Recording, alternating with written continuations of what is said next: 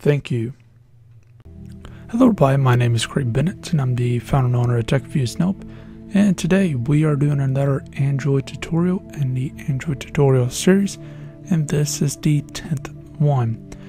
In this particular video we are going to get into how to make a dynamic color for your background much more so than we already have in a previous video and I'm assuming that you watched the previous videos if you hadn't then please feel free to check out the card on the top right, which will take you to the previous video.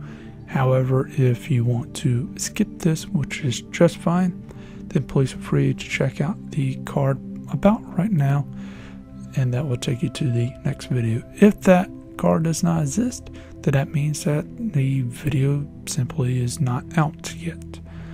But keep in mind, these videos come out once or twice a week, and sharing these videos is much appreciated and will help a lot of people.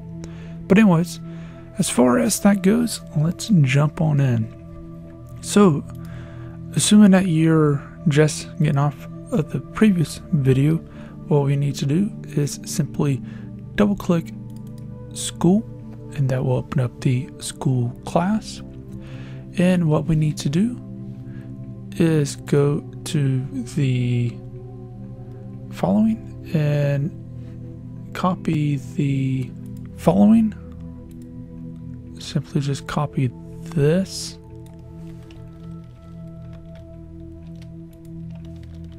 And then what we need to do, and copy it by Control C, or you can just right click and go copy. What we need to do is right click on this area under Java, this area, whatever you named yours, and go to new and go to Java class. And what we need to name this is it's up to you, but again, naming the classes and layouts and stuff of this nature, it helps on when you're developing and adding or taking away. So at a quick glance, you know what things are. So we're going to name it color wheel. From here, we need to go on the inside the bracket and paste that in by Control V or simple play, paste. Now, what is this that just came up? This that just came up is simply a thing that needs to be imported into this class that's not already here. If it's not imported, then what you just pasted will not work. However, once it's imported, everything should be fine. So, because we want this code to work, we are going to simply select OK. And that will cause that to work. Now, what I'm going to do here is I'm going to set this as a private string.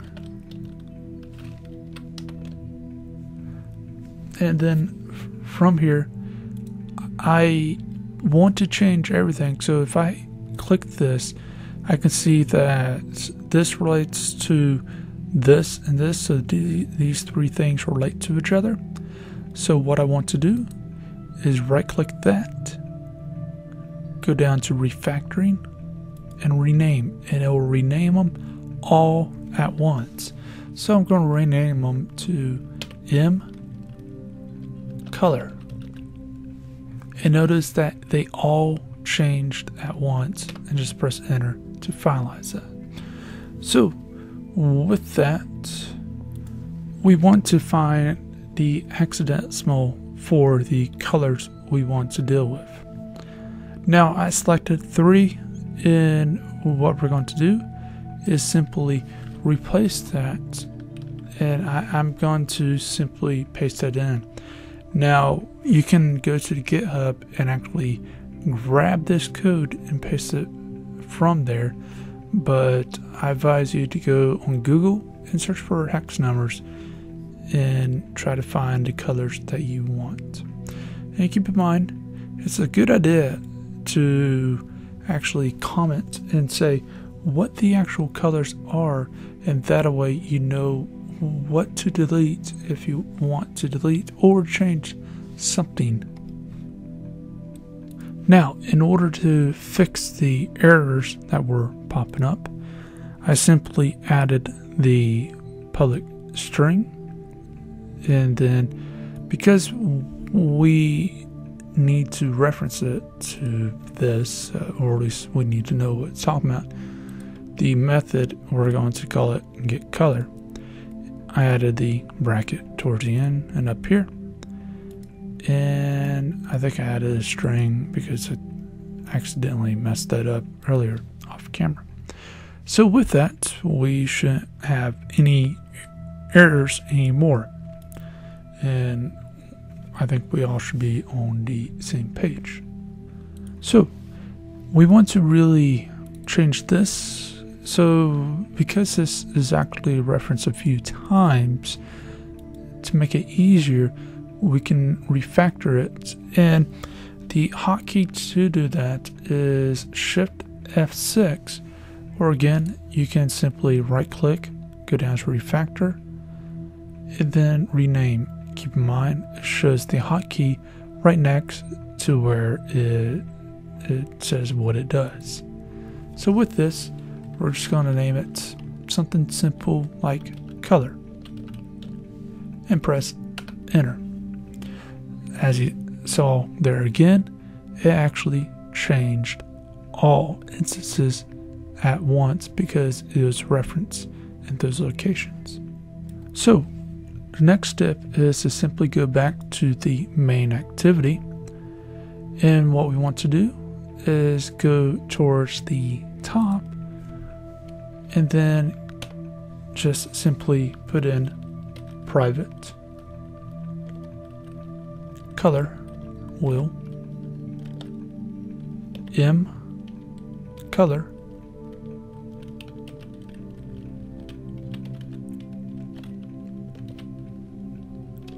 equals new color wheel and then close that off. Then down here what we need to do is simply go to the thing after it says string school equals and so on. We can do it before or after that. And put in the following string color equals m color wheel dot get color. Now we want to have it where it changes the color background based on the string so what we'll just say is color. And you might notice it is actually having an error. And if we hover over it, it will actually tell us the actual error. And you can tell by the error, these squiggly lines. On the top right, it will have the explanation. And also if you hover over it, it will tell you there's one error. If you go down this, it will tell you where the error's at. You can actually click on that and it will take you exactly where the error's at and even giving you a good idea what is on that given line. In fact, real quick, one of the reasons why a lot of developers develop like this, you can theoretically, in fact, you can, it's not theory, you can develop where you have a code like this all on one given line, and we probably should put some numbers over here. Probably do that later, but um, the reason why we don't do that is simply because let's put all this on one given line and let's take a look you can see that all that is reference and it's hard to find. And the longer the line is, the more you have to go a given direction. So let's undo that. So basically, it just makes it easier to find what you're looking for in up and down than having everything where you have to scroll left and right. So in order to fix this, let's go back to the color wheel. And what we need to do is simply go down to the put a int in here. So to do that, what we need to do is under the public and string area, we need to just double click on string since this is one that we're going to change and make it a int. Then we need to go down here and just simply type out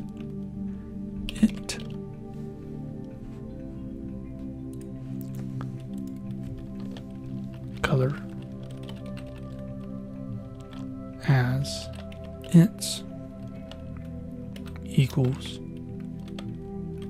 color dot har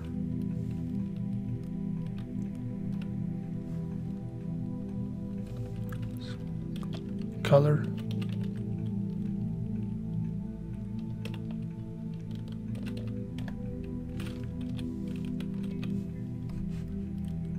And you may notice that we messed up here, so a way to fix it is simply capitalize color. And we need to do a control enter. And then now what we need to do is basically try to figure out why is this giving an error. So what parse color does, uh, it basically takes a hexadecimal, which is what we're providing here, and it turns it into an integer, which Android understands. So from here, the thing thinks that this is zero and it needs to be one at least. And really, what's happening is even if we leave it like this, what's going to end up happening is it's going to be overwritten down here.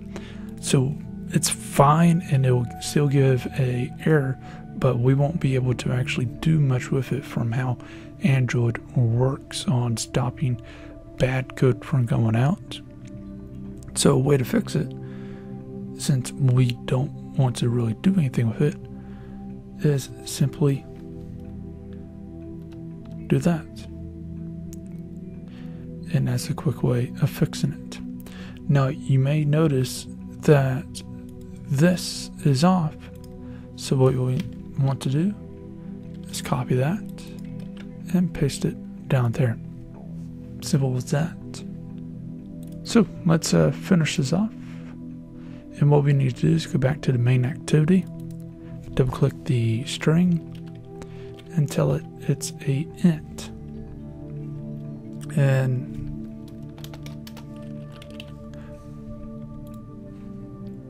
now let's run this code. And what's going to end up happening is basically I already comment out the invisible, so we're not dealing with that. And what's going to end up happening is every time we click that, it's going to bring up a new color. Now notice the colors don't really match what is being selected. So what you can do, in case of it seemed a little bit confusing, if you wanted to, you can actually add more colors. I have a few others on the side. So let's go with these. And then let's run this again. And make sure the invisible command is commented out, otherwise this entire thing won't work. Like you click it once, it'll be invisible. So as you see here, it's able to use all the colors. So you don't have an actual problem with adding more colors if you wanted to, or having less. So with that being said, let's do one last thing. So as far as the text, you might notice that the text on here we can actually change that per color type. So what we want to do is try to find a button text. So the m button dot set text color and then do color. And let's run it again. And give it a second or two make sure it loads. And then as you see here whatever it changes the background to it changes this the text color to uh, the button. Because what happens is is it'll grab whatever value comes out of here the random number generator that picks randomly from here. And since it's the same thing that comes out the both these are grabbing basically whatever the value is from here. So it's a pretty simple thing.